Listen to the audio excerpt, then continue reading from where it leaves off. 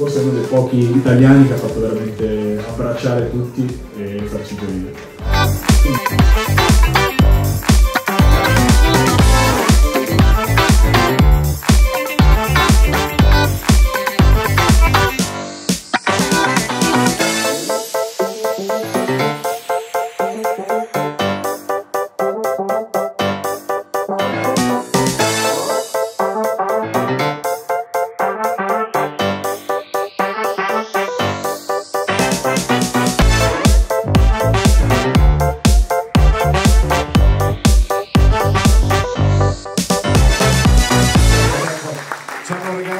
tante informazioni, tante curiosità.